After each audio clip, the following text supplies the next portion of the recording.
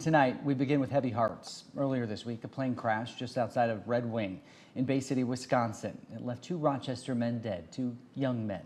One of the victims was just 20 years old, Ethan Smith, a graduate of Lourdes High School. He graduated in 2020. Well, tonight we are joined by ABC 6 News reporter Maisie Olson at Lourdes High School, and who spoke with coaches and friends of Ethan to share how he meant so much to so many people. Maisie.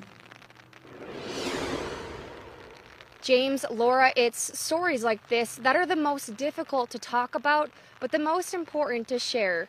Ethan's friends describe him as funny, hardworking, and the type of friend that would put himself before everyone else. They said this has been a very difficult week, and they're still in shock over what happened. Everyone that I've reached out to have checked on a lot of his friends here over the last couple days. They're all hurting, hurting really bad, as you know we all are. It's hurt a lot for his parents. Um, but yeah, those those boys are all hurting, and they're really going to miss him, and it's tough conversations to have.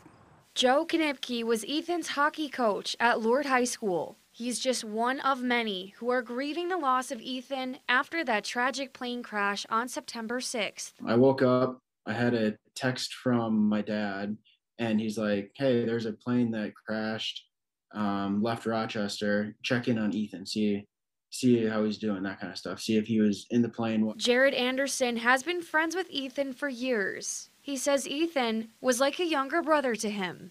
He was goofy. He would always make you smile. Just the way he walked up to you and he'd make some comment or something, you just laugh. It's just, I don't know, it's what you did.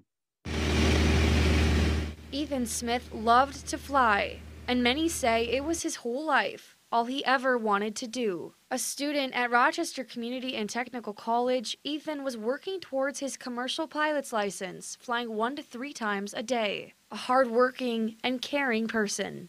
Everybody has just had nothing but such remarkable positive things to say about this individual, which is why it makes it such a, a tragic incident.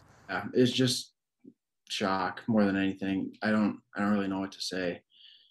I still don't know what to say.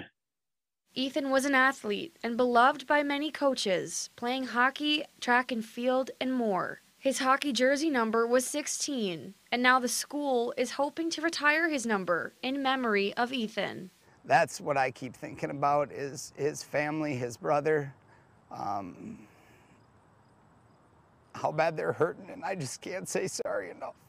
Now, tonight at the Lourdes High School football game at RCTC at 7 o'clock, there will be a moment of silence to remember Ethan and recognize this time of grieving in our community.